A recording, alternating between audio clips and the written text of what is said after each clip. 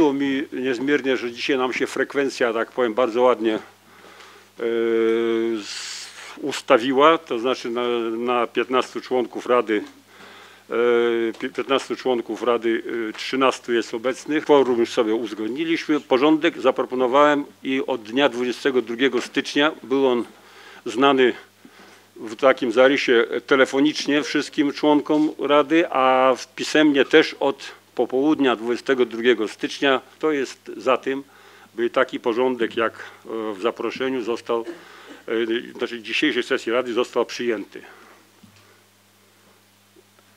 Tak, e, widzę, że, że przyjęliśmy ten porządek jednogłośnie. Dziękuję bardzo.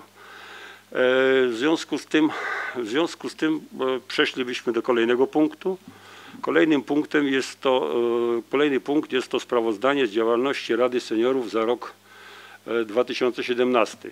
W 2017 roku odbyły się cztery sesje Rady Seniorów Gminy Nadarzyn i liczne spotkania robocze. W pracach e, Rady aktywnie uczestniczyły 13 osób. Tu była już mowa o panu Romanie Betleja i pani Zofii, którzy no, z różnych powodów nie mogli uczestniczyć. E, Spotkania robocze odbywają się często poza siedzibą gminy, czyli spotykamy się gdzieś tam u kogoś, prywatnie, e, czy, w różnych miejscach lub e, w e, sali Rady Gminy. Informacje o działaniach Rady umieszczane są w wiadomościach nadarzyńskich i na stronie internetowej gminy. Staram się ostatnio, żeby co miesiąc jakaś informacja była w wiadomościach nadarzyńskich. Staram się też prosić, żeby były umieszczone wszystkie życzenia, wszystkie ważne informacje o Radzie na stronie internetowej. Jeżeli to się mi udaje, no to jest, jestem bardzo wdzięczna również pracownikom gminy.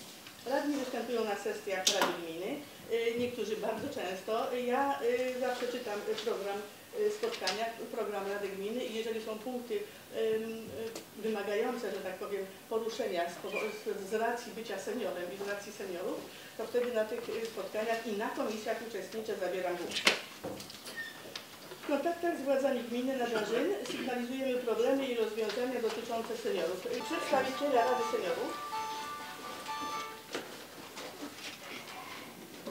uczestniczą w, w okolicznościach, w uroczystościach okolicznościowych, religijnych, rocznicowych, patriotycznych, niepodległościowych, opiekują się Izbą Pamięci w Nadarzynie. Udzielają wywiadów oraz prezentują Radę w wystąpieniach na forum i w debatach organizacji senioralnych oraz pozarządowych. To jest za przyjęciem takiego sprawozdania Rady w wersji przedstawionej.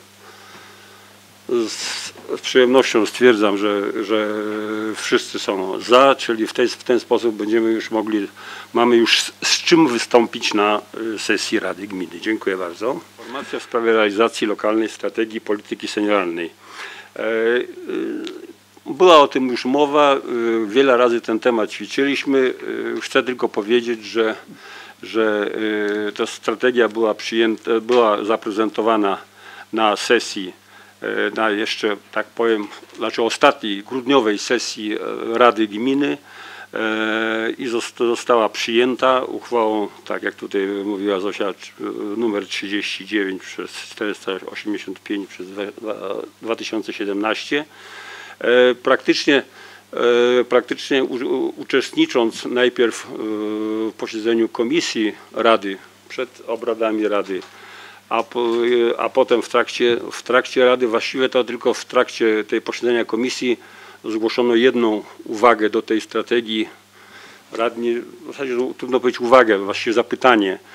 Mianowicie ta, to zapytanie dotyczyło, jakich środków wymaga wdrożenie strategii, na co, e, na co odpowiadając czy wyjaśnieniu, wyjaśniałem, że strategia ma charakter kierunkowy, i, a te poszczególne zadania czy tematy w niej zapisane zostaną powiedzmy skwantyfikowane od, odpowiednio w czasie. To jest strategia, jest to przedsięwzięcie na e, takie no, rozpisane, czy tak, znaczy opracowane na, na lata, na lata i w związku z tym trudno byłoby, trudno byłoby e, znaczy na, lata, przypomnę, 2018-2025 e, i trudno byłoby je dzisiaj e, wycenić, ile jakie przedsięwzięcie będzie kosztowało.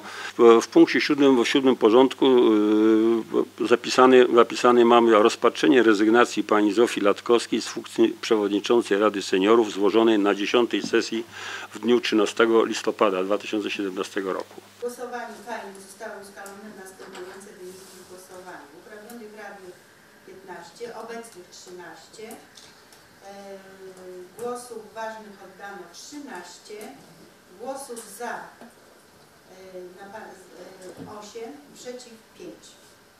Czyli w związku z powyższym Komisja Stylizacyjna stwierdziła, że pani Zofia Latkowska została, e, została, jej przyjęta, została przyjęta jej rezygnacja z ilością głosów 8 do 5. Czy w sprawach, czy w sprawach e, bieżących, e, zapytaniach i, e, i wolnych wniosków ma, są jakieś kwestie, o których, e, których e, szanowni, e, szanowne koleżeństwo chciałoby się wypowiedzieć?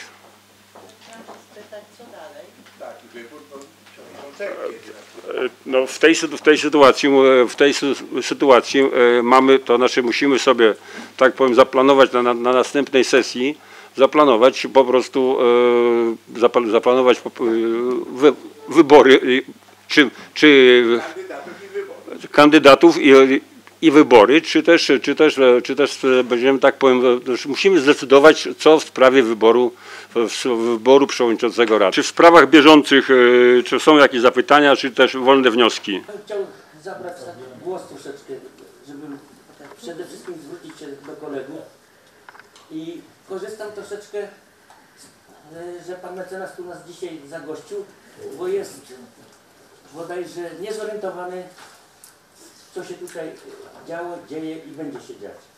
Więc powiem tak, że społeczność nadarzyńska e, jest doskonale zorientowana, kto stał, kto stoi za donosami prokuratorskimi, za kłamstwami, oszczerstwami w mediach społecznościowych, za, za wywieszanie billboardów o haniebnej treści. To wszystko doprowadziło do śmierci naszego świętej pamięci wójta Janusza Grzyba. Te wszystkie to się zda, y, po prostu działo. My o tym wszystkim wiemy. E, To doprowadziło do skłócenia społeczności nadarzyńskiej. Te wszystkie działania. Ci ludzie dla własnych korzyści doprowadzili do sytuacji, która jest obecnie w gminie. Oni y, to doprowadzili. A obecny komisarz, trzeba to jasno powiedzieć, wspierał i bierze udział w tych niechlubnych działaniach. Społeczna nadarzyńska nigdy nie zaakceptuje takiego postępowania. Wcześniej czy później zostanie ona po- potępione i wy, zostaną oni potępieni i wykluczeni z tej społeczności. To chciałem powiedzieć, bo może nie wszyscy czytają o tych, o tych wpisach, może nie wszyscy, nie, e, wszyscy wiedzieli, kto wy- wywieszał te haniebne billboardy, kto stał za nimi. Jeśli nie ma, nie ma innych ze strony, ze strony tego, to chciałem to tylko tutaj jakby zgłosić, e, zgłosić tak, taki fakt, że powstała taka inicjatywa z, z, z grupy, e, grup, w którą tak powiem, inicjatywa grupy e, radnych seniorów, to znaczy, radnych członków Rady Seniorów. E, tak się przyjęło nam nazywać, choć, choć może jest to nieco na wyrost. Tak, tak, tak. Więc e, jest tego i, i powiedzmy tutaj jest grupa ta e, już wcale, wcale nie mała. Planuje, czy chciała zwrócić się z, z apelem do przewodniczącego, do, do Rady Gminy z takim apelem, który, który tutaj, który powiedzmy jak tutaj się, no, który już inicjatywa powstała wcześniej niż, niż, na, niż e, dzisiaj. W związku z tym tych e, podpisów się, czy osób się kilka już zgłosiło. Ja powiem, powiem e, żeby, żeby nie robić, ja też z tego tajemnicy żadnej nie robię. Kto ma z Państwa ochotę się pod tym, pod, taką, pod takim apelem podpisać, proszę bardzo. Kto uważa, że, że, że, że nie, nie może czy nie musi, to, to, to nie musi, to nie musi albo nie może. Apel jest takiej treści. E, Nadarzyn e, 29 stycznia 2018 rok. Przewodnicząca Rady Gminy Nadarzyn, pani Danuta Wacławiak, radni gminy Nadarzyn. Jako członkowie Rady Seniorów przy gminie Nadarzyn zwracamy się z apelem do radnych gminy Nadarzyn o podjęcie uchwały w sprawie przywrócenia umieszczonej uprzednio w holu Urzędu e, Gminy tablicy upamiętniającej wieloletniego e, gospodarza gminy, wójta świętej pamięci Janusza Grzyba. Nikt, a zwłaszcza urzędujący do tego czasu, do, do czasu wyboru e, następcy wójta, komisarz, nie powinien decydować o usunięciu tablicy pamięci o, e, o wielkim człowieku, przyjacielu mieszkańców gminy. Jeśli nie ma innych spraw, e, jeśli nie ma, nie ma innych spraw i innych wniosków, dziękuję bardzo wszystkim, e, wszystkim za udział w naszej dzisiejszej sesji. Sesję ogłaszam e, za zamkniętą.